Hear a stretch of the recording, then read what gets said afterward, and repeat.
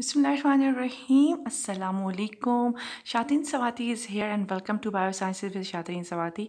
And today I will deliver the second part of the uh, my first lecture about the lipids. And as I have discussed in my previous lecture about the uh, introduction and classification of the lipids and uh, I dis- uh, discussed in detail about the uh, simple lipids uh, triglycerides. So in the current lecture I will discuss about the uh, second most important phospholipids and you all are familiar with them and these are the phospholipids. So uh, before starting my lecture i have a very humble request to all of you to kindly promote my channel. If you did not subscribe subscribe my channel like my videos and share my videos. If you're sharing my videos you are sharing knowledge. So keep watching keep sharing knowledge with other. Okay now I'm starting my lecture about the phospholipids and all of you know that the phospholipids are the most important component uh, and which provide the structure to the cell uh, in the form of the cell membrane phospholipids are present in the form of lipid bilayer. You all are familiar with them. So in this lecture i will discuss about the classification biosynthesis how the phospholipids synthesize because most of the people most of the students don't know about uh, how they um, synthesize in the um, cell and uh, in which uh, by which mechanism and which enzymes are responsible for that and in which part of the uh, cell and uh, also about the chemistry and biology of the phospholipids. And at last very important thing i will discuss about the function. Okay first of all phospholipids are composed of you can see here the most important they are known as phospholipids because of the presence of the phosphate group and they are uh, complex are compound lipids as I have discussed in my previous lecture about the compound lipids and our complex lipids. So uh, phospholipids are the form of are the part of the compound or complex lipids. And why they are called phospholipids? Because in this case a phosphate group is present with two alcohols and one or two fatty acids. As you can see here, this is the phosphate group this is the glycerol, which is alcohol, and one or two fatty acids chain. On one end of the molecule are the phosphate group and on uh, one side alcohol. This end is polar.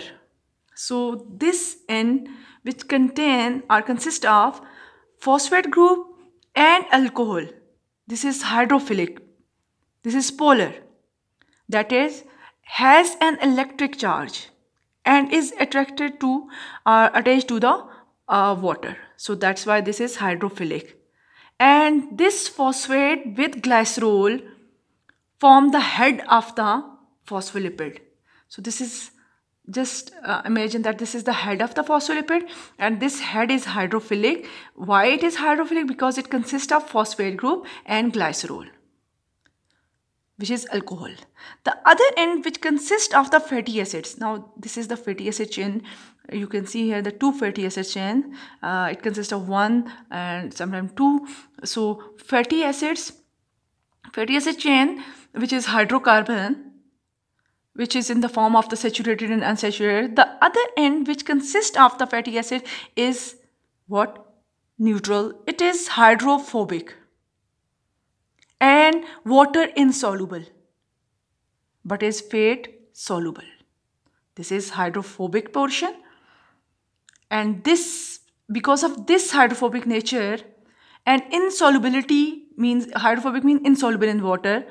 This hydrophobic nature give the cell membrane stability. This hydrophobic uh, nature of the hydrocarbon fatty acid chain actually give rise the what? Stability to the cell membrane. I will discuss how they are arranged and i have discussed in my previous lecture about the cell membrane structure. So must watch my lecture about the cell membrane structure and function. Uh, you will get a lot uh, about the uh, arrangement of the phospholipids in the cell membrane and many more function different types of the phospholipids there too. Okay so you, you can see here this is the structure and the structure consists of the head this is the head this is the tail. Head consists of phosphate group and the glycerol. This is the chemical structure or the chemistry of the phospholipid and this is the glycerol and these are the what? Fatty acids chain which are hydrophobic. And this hydrophobic nature of the phospholipid gives stability to the cell membrane that's why cell uh, cell membrane uh, do not dissolve in the water uh, because outside of the cell is uh, water and inside of the cell is water. So if the cell membrane or the you can say the phospholipids consist of just hydrophilic um, component that what will happen? The actual uh, shape of the cell membrane or the cell uh, what will happen? Do not attain by the cell and the uh, structure is do not maintain. So amphipathic nature. Or you can say uh, i will discuss here in the arrangement. So how the uh, phospholipid arrange and what is the amphipathic nature? Amphi amphi means both both natures. Like uh, you can say that um, uh, phospholipids are hydrophilic on one side and hydrophobic on the other side. So that's why they are amphipathic in nature. What is the meaning of amphi? Amphi means both. Phospholipid possess both the characteristics hydrophilic as well as hydrophobic. Is it clear? So you can see here the arrangement of the phospholipids in the cell membrane this is a uh, cell membrane is the double membrane. All the organelle membranes are double membrane and consist of what? They are all made up of what? Phospholipids. And the phospholipids consist of, as we know that head and tail. So in the lipid bilayer, what will happen? The head is on the outer leaflet and the inner leaflet. And the hydrophobic tail arrange in this way means this is the lipid bilayer and the hydrophobic tail present here in this form arranged in this form inside inside of the cell membrane. But the on the both side on the inner uh, leaflet and on the outer leaflet we can see here the what hydrophilic head. And this is the hydrophobic tail. So along with the phospholipids we know that there are number of proteins present. There are um, cholesterol present and many more substances many more component uh, chemicals are present in the cell membrane. So here I'm just uh, focusing on the arrangement of the uh, phospholipids in the cell membrane, how the cell uh, phospholipids are arranged in the cell membrane and this uh, um, uh, arrangement of the phospholipids in the cell membrane give the stability to the cell membrane because of, of its hydrophobic nature and as we know that the this uh, cell membrane mostly consists of the lipid bilayer uh, phospholipids. So it allow the non-polar substances uh, to pass through the uh, uh, cell easily and it also provide the cell uh, permeability selective permeability. Selective permeability because of the phospholipids. Okay. So you can see here the arrangement of the phospholipids how just imagine this is the outside of the cell this is the inside of the cell. So the phospholipids arranged hydrophobic uh, hydrophilic head on its inner and outer leaflet side and the tail conside inside the or inside the uh, hydrophilic head and arrange in this form. This is one and this is the second layer. That's why this is known as sandwich like structure. That's why this is known as lipid bilayer. Okay. Now phospholipid synthesis.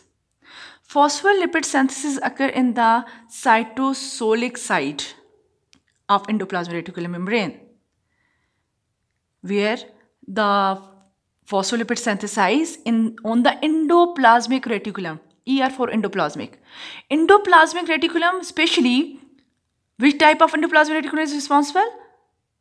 Smooth type of endoplasm because rough type involved in protein synthesis. As we know that the rough type of the endoplasmic reticulum ribosomes are present. So uh, protein synthesis occur there. But in the uh, in case of this smooth endoplasmic reticulum or endoplasmic the on the cytoplasmic side of the endoplasmic reticulum what will happen? Uh, phospholipid synthesis occur. That is studied with protein that act in synthesis. Now which enzymes are responsible? One is gpat gpat and lpat GPAT, G for glycerol, P for phosphate, A for acyl, T for transferase. Similarly, uh, lysophosphate, uh, acyl transferase. These are the two most important uh, acyl transferase enzymes which are responsible for the formation of the phospholipid. Is it clear? Now, and allocation, you can see here the flippase flippase these are the special type of the proteins which help in the transfer of the what? Uh, lipids phospholipids from one uh, from one side of the cell to the other side. These help in you can say the transport of the phospholipids. So allocation uh, is uh, you can say that uh, uh, takes place by the flippase eventually a vesicle will bud off from the endoplasmic reticulum containing the phospholipids destined for the cytoplasmic cellular membrane on its extra on its, on its exterior leaflet and phospholipid destined for the ex, uh, extra, exoplasmic cellular membrane on its inner leaflet. So, uh, as we know that the phospholipids require for the synthesis of the cell membrane, when they uh, when the phospholipids synthesize on the endoplasmic reticulum with the help of the GPAT and LPAT, then what will happen?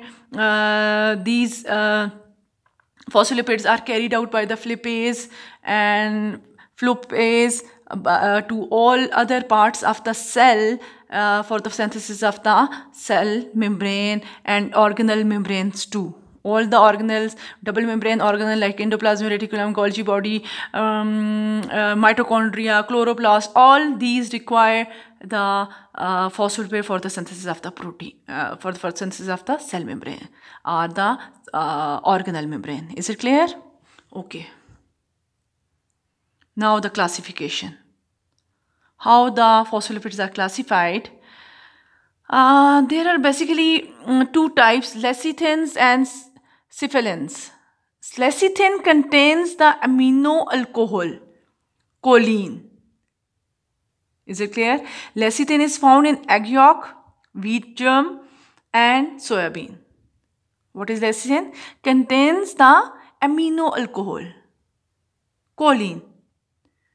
Lecithin is found in egg yolk, wheat, uh, germs and soybean. And cephalins, cephalins contain the amino alcohol serine. Like lecithin contain the amino alcohol choline. Uh, cephalins must keep it in mind the difference between the lecithin and cephalin is that lecithin contain the choline and cephalin contain the amino alcohol serine or ethanol amine. Is it clear? This contain the choline this contain the serine or ethanolamine. Cephalins are found in most cell membranes, particularly in brain tissues. Must keep it in mind. Cephalin, cephalic. So uh, this is the difference between the lecithin and the cephalin. Uh, what is the basic difference? Because of the uh, presence of the amino, amino acids like choline uh, uh, and in other case serine or ethanol amine and the difference is the uh, like this present in one present in the brain tissues particularly and other in the egg yolk and wheat and germs and soybean. So there are different uh, examples of the lecithin. Uh, you can see here phosphatidyl choline cephalins uh, phosphatidyl uh, ethanolamine and phosphatidyl serines are groups of the phospholipids of the widespread occurrence in plants and animals. Lecithin is the most abundant but is rare in microorganisms. Some are exclusively uh, components of the mitochondrial membranes such as uh, cardiolipin and I have discussed about the cardiolipin in mitochondria especially cardiolipin uh, uh, uh present in large amount in or greater amount in the uh, mitochondrial membrane and why this is called cardiolipin I have discussed in detail cardiolipin is uh, called cardiolipin because it was first discovered in the heart animal heart cell. So that's why named as cardiolipin and this is the most important phospholipid and i have discussed in detail about the functions of the uh, cardiolipin in my lecture about the mitochondria. So must watch my lecture about the mitochondria. Okay. Now you can see here the two structures of the uh, chemistry of the uh, what? Lecithin and cephalin now you can see the difference between the lecithin and cephalin. Is it clear to you? Okay.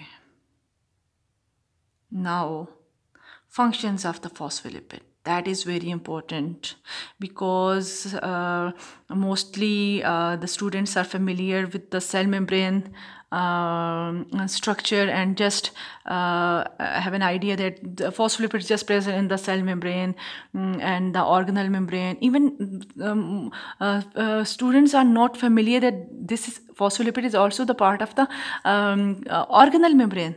So now the concept clear upon you people that the phospholipids are present in the cell membrane as well as the organelle membrane and uh, provide the stability to the cell. So uh, first function is the as a membrane component. So there is no need to explain it again.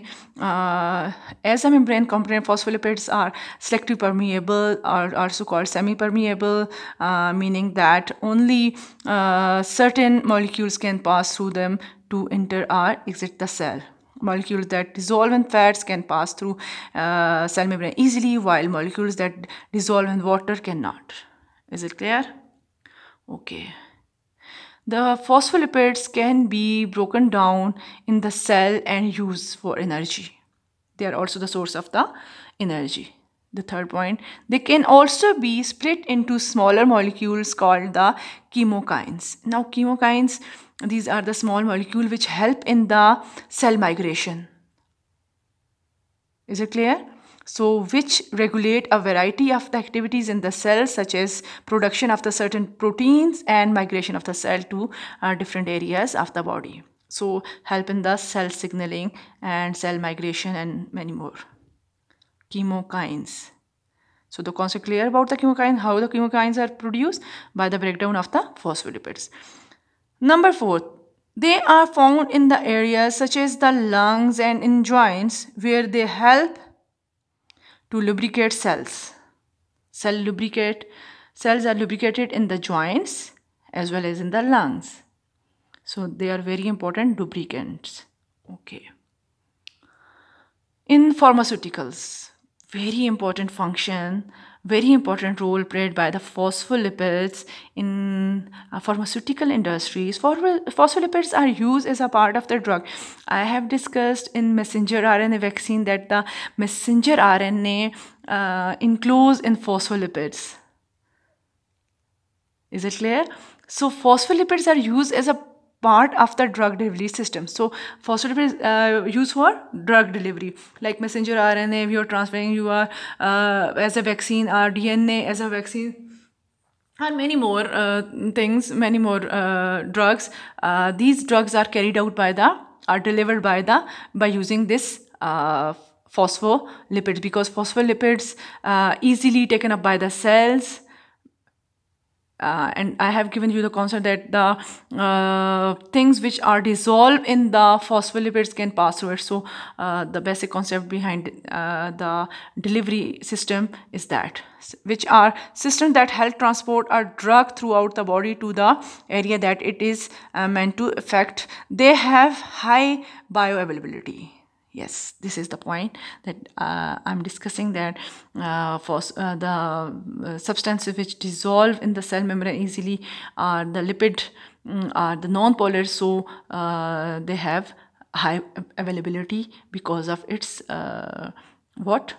Phospholipid nature. So meaning that they are easy for the body to absorb. That's why they are used in fossil in the pharmaceutics you can see here this is the small uh, vesicle like structure which is used or you can say the drug constituent is wrapped inside that um, what? In the, uh, uh, uh in, in the lysosome liposome sorry. So this is known as the liposome the vesicle which is synthesized for the drug delivery is known as liposome. Okay. In the food industry Phospholipids can act as I have discussed that the phospholipid uh, lecithin is the most important constituents of the egg and many more soybean and all. So phospholipid can act as uh, emulsifiers which are the substances that disperse oil droplets in water so that the oil and water do not form separate layers. For example, egg yolk contain the phospholipids and are used in the mayonnaise to keep it from uh, separating and phospholipids are found in high concentration in many other animal and plant sources such as soybean, sunflower, cotton seeds, corns and even cow brain. Is it clear? Okay. I hope so. The lecture will be clear upon you people and you will enjoy inshallah. So must watch my lectures, like my videos and share my video. I will be back with a new lecture about the third type of the lipids uh, until Allah Hafiz and thank you very much.